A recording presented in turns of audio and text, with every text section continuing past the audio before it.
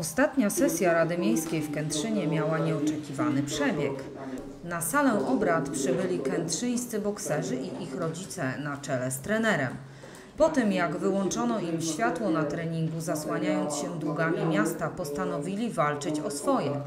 W mediach społecznościowych aż huczało od oburzenia na decyzje kętrzyńskich władz. Komentowano sprawę szeroko, nie szczędząc mocnej krytyki pod adresem burmistrzów. Warto dodać, że Ludowy Klub Sportowy Niedźwiedź to zawodnicy, którzy odnoszą międzynarodowe sukcesy. Reprezentują właśnie miasto Kętrzyn, promując je na arenie międzynarodowej. Jak twierdzą zawodnicy, to nie pierwsze takie starcie z władzą samorządową. Dlaczego włodarze kętrzyńscy nie doceniają bokserów i nie chcą ich wspierać? Jak twierdzi trener Emin Husejnow, to polityczna rozgrywka i dlatego nie pozwoli, aby dzieci mieszać do polityki. Chciałbym na początku przypomnieć słowa obecnego szanownego burmistrza, a ówczesnego kandydata na burmistrza miasta Kętrzyn, opublikowane 30 października ubiegłego roku na portalu społecznościowym. Może są osoby, które w tych obie obietnicach zapomniały, ale my jako sekcja pięściarzy nie zapomnieliśmy. Oczywiście Panie Przewodniczący dostarczę to do protokołu.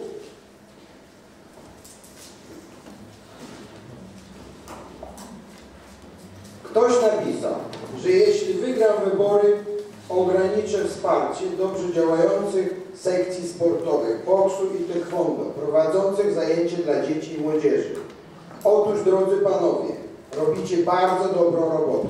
Macie sukcesy, nie można tego nie wesprzeć. Mało tego, trzeba wspierać jeszcze bardziej, bo to, co widzę, to nie jest to jakieś nadzwyczajne wsparcie. Będę na pewno wspierał te sekcje. Jedno, co chciałbym dodać, to to, że zadaniem miasta powinno być szersze wspieranie sportu, więcej dyscyplin sekcji dla dzieci i młodzieży powinno być wspierane. Miasto na to stać, wykrzyknik. Celem powinno być rozwijanie dzieci i młodzieży pod względem sportowym i przygotowanie do większych wyzwań na poziomie regionalnym, krajowym, czy może nawet międzynarodowym.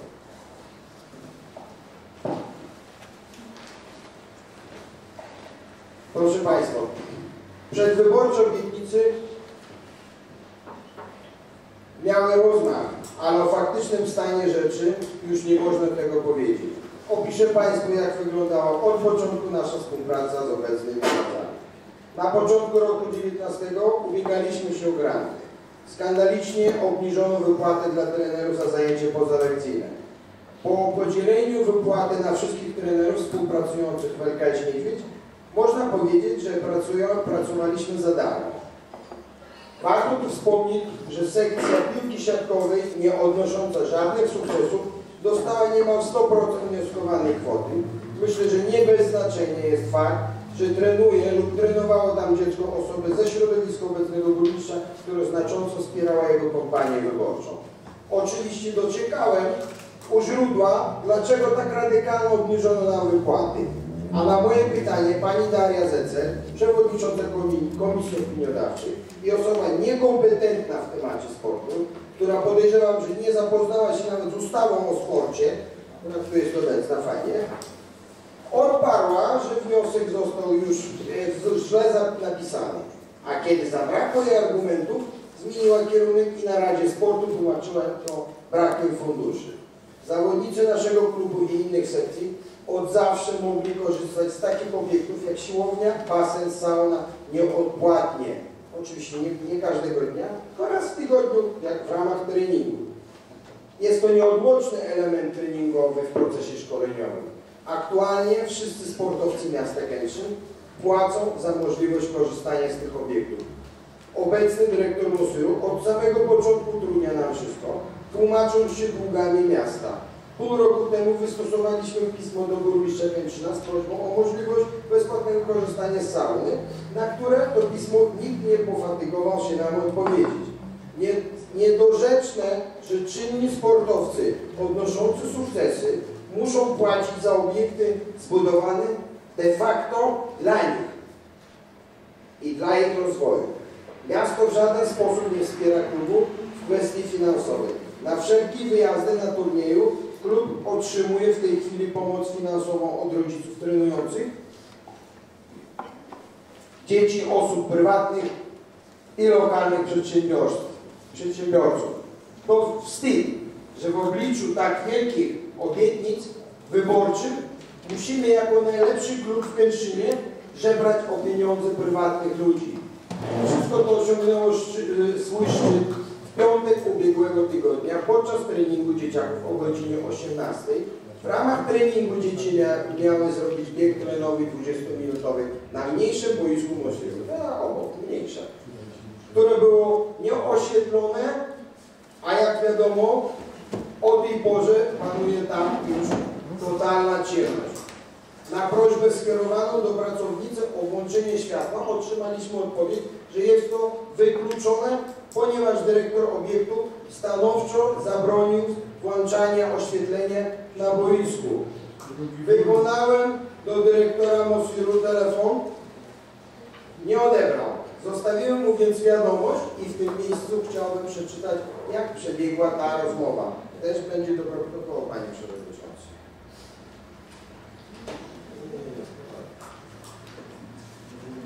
Panie Krzysztofie, podczas treningu pięściarzy pracownica nie zgodziła się na włączenie światła na bieżni, twierdząc, że to Pana polecenie. Taka sytuacja jest niedopuszczalna. Dzieci miały bieg i była to część treningu. Mam rozumieć, że weźmie Pan na siebie odpowiedzialność w momencie, kiedy któryś z dzieci biegając w totalnych ciemnościach zrobi sobie krzywdę. Zapewni Pan wówczas opiekę medyczną i będzie się tłumaczył przed rodzicami. Jak można dopuścić do tego, że podczas treningu dzieci nie mają zapewnionych podstawowych zasad bezpieczeństwa? Jak się to ma do PHP? Po jakichś 30 minutach dostaję odpowiedź od Pana Dyrektora. Nie powinien Pan tam w ogóle wchodzić. To boisko czeka na przebudowę i jest zamknięte. Pracownik nie powinien tam Was wpuścić. To jedno. Na przyszłość powiem, że miasto dzięki działaniom poprzednich rządzących ma 62 miliony długu. I będzie tak, że trzeba będzie korzystać z tych możliwości, które będzie miał POSY. Jak ktoś będzie chciał więcej, będzie musiał płacić. POSY dotuje w tej chwili sport dzieci i młodzieży na kwotę 3 miliony złotych. To poważna kwota. Myślę, że w najbliższych latach więcej nie będzie. Pozdrawiam. Moja natychmiastowa reakcja i odpowiedź. Każdy ma prawo wejść na boisko, po to ono jest. Boisko czeka na przebudowę, a nie jest w przebudowie. Szkoła też odbywa zajęcia na boisku. Co do długu, to powtarza się Pan, słyszałem to już wiele razy i nie ma to nic wspólnego z naszymi treningami. Ciężko pracujemy z dziećmi, zdobywamy dla Kętrzyna medale, przestańcie mieszać dzieci w politykę i mścić się na nich. Mosyl dotuje sport na 3 miliony i ta kwota nie zawiera włączenia światła dla dzieci. Może powinniśmy sobie doświetlić miejsce treningów telefonami. Proszę przemyśleć swoje stanowisko, bo ja jako trener sekcji, która odnosi duże sukcesy, nie będę stał i patrzył na ten cyrk, w efekcie którego nie mamy możliwości poprowadzenia treningu jak zwykle. Pozdrawiam.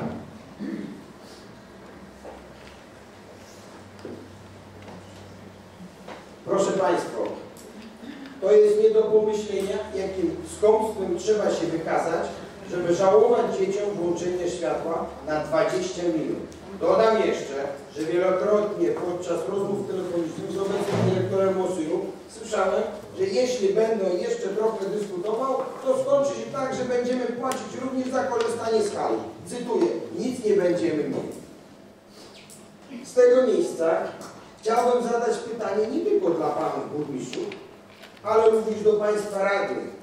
Jak wiadomo, od roku słyszymy w kółko to samo. Miasto zadłużone, trzeba spłacać, trzeba oszczędzać.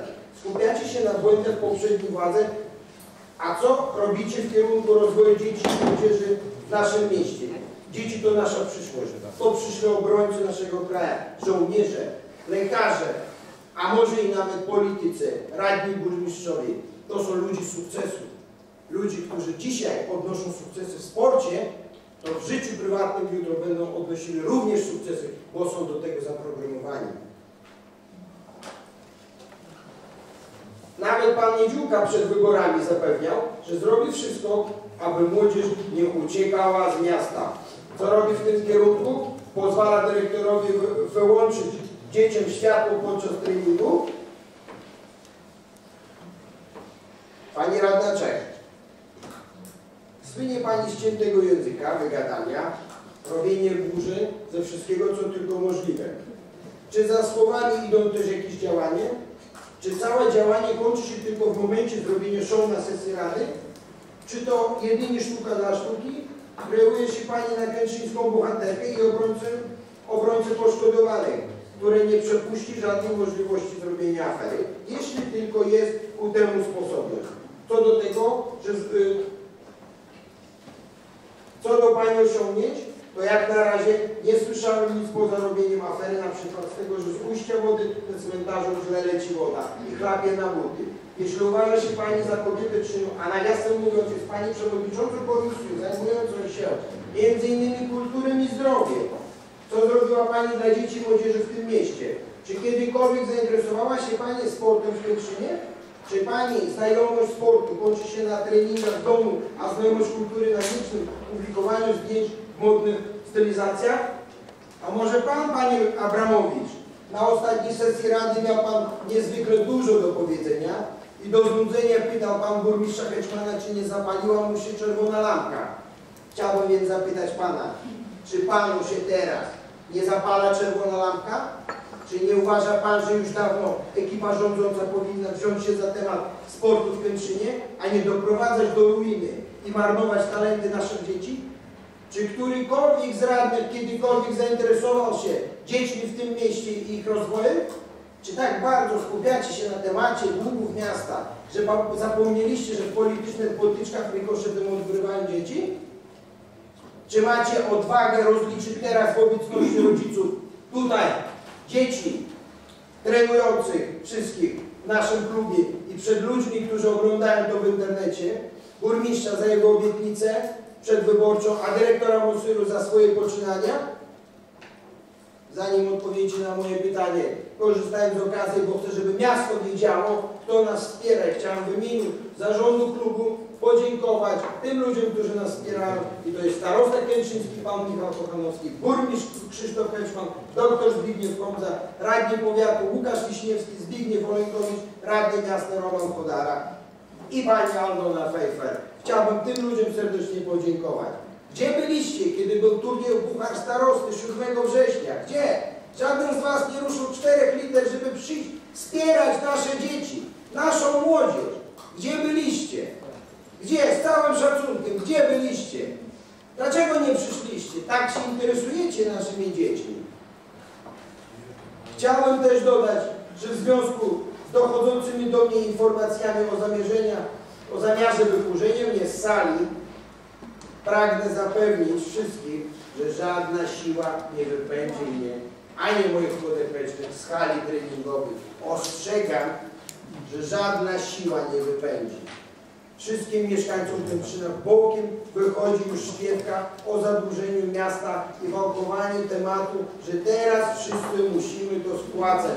Skoro tak desperacko żądacie od ludzi spłacanie długów miasta, a dzieciom żałujecie włączyć światło, to mam pytanie, o ile burmistrzowie i prezesie spółek sobie obniżyli wypłaty, żeby szybciej spłacić to zadłużenie?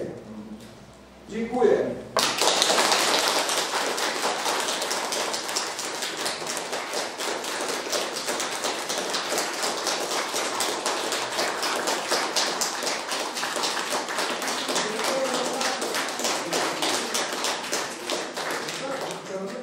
Sto tysięcy na samochód, Panie Przewodniczący, przepraszam najmocniej. 100 tysięcy na samochód macie. 100 tysięcy. Ale światła nie ma. Światła nie ma. Dla sportowców nie ma światła. Gratuluję. Gratuluję. Jak wchodzicie na Mosir, nie wiem w ogóle, czy Państwo chodzicie tam, bo nie chodzicie. Jak wchodzicie na Mosir, na halę, z boku, w holu wisi tablica naszych sportowców. Osiągnięcia. Tam nie są wszyscy oczywiście. Jest ich wiele, wiele więcej. Ale to dzięki nim Kętrzyn poznają. Nie, że mamy majonezy czy wilczyszanie. To dzięki nim poznają nasze miasto. To oni walczą o to miasto. Ale wam gratuluję, że posadziliście cztery litery i nic nie robicie.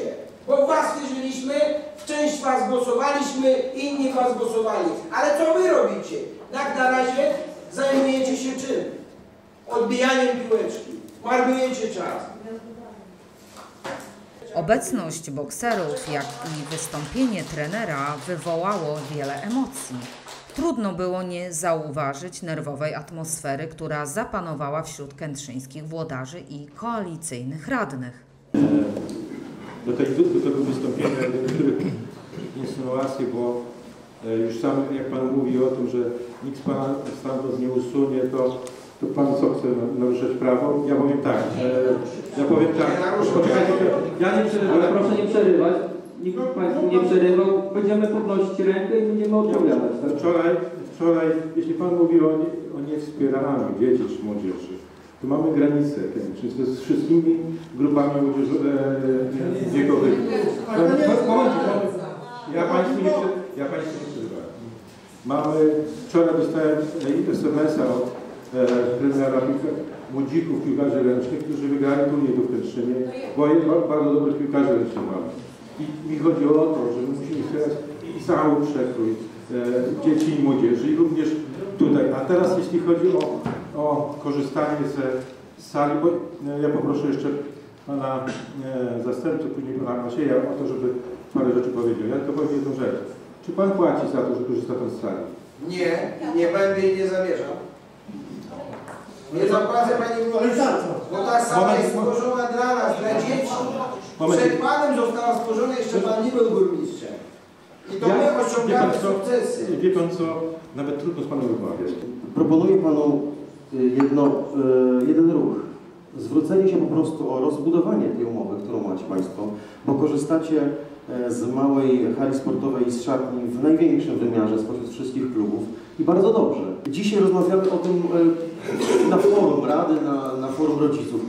E, I, i, taka, jest, taka, jest, taka jest kolej rzeczy, czyli proponuję Panu, żebyśmy usiedli do stołu, ustalili Wasze zapotrzebowanie, i żebyście zgodnie z przepisami, bo to są przepisy, podpisali taką umowę na bezpłatne korzystanie z tych obiektów i działajcie dalej. Tylko rozmawiajmy. Ile jest wniosków składanych do, e, do Rady, do budżetu, do burmistrzów z prośbą o realizację innych celów sportowe, bardzo często e, jest odmowa, bo sport, bo dla dzieci, bo rozwój, bo to jest cały czas kosztem innych spraw społecznych zaspokajamy potrzeby, potrzeby sportowe. I nie jest prawdą, że nam tu jest opis sport. Przyszedł Pan tu uprawiać co? Politykę? Chce Pan powiedzieć, że... Słuchała Pani kiedy? Chce Pan powiedzieć, Pani- że... Ale proszę dokończyć Pani radnej. Proszę nie przerywać, bo proszę 10 minut. Chcemy żyć i mieszkać w tym mieście. A nie dopiero budować na zmian. Proszę Ja dać przepraszam dokończyć. bardzo. Pani radna Ruskiewicz ma głos. Ja przepraszam. Każdy chce żyć w tym mieście i mieć zaspokojone swoje potrzeby. Tych potrzeb jest wiele. I proszę zrozumieć, że tu nie ma złej woli ani ze strony miasta, ani jak krzyczy o burmistrzu. Nie ma. Usiądźmy, porozmawiajmy. Wy róbcie swoje. My będziemy robić swoje. Na tym pomysł Następna zaproszony człowiek. Panie A Przewodniczący, jeśli mogę? chodzi jako mieszkanka, Ale nie powtarza Pani burmistrza słów. Pani rada ma teraz głos. Ale to powtarza słowa. Ale mam możliwość mówienia. Ma głos i ale one chyba nie do wszystkich dotarły. Ale one chyba nie do wszystkich dotarły. No nie. Pani nie zrozumiała przekazu. Tak. Po co tu przyszliśmy tak licznie? A przyszłoby więcej zadań. Przypomnę Państwu, że my jesteśmy ludźmi z wyboru, my jesteśmy radnymi z wyboru. E, państwo mogą w każdej chwili powiedzieć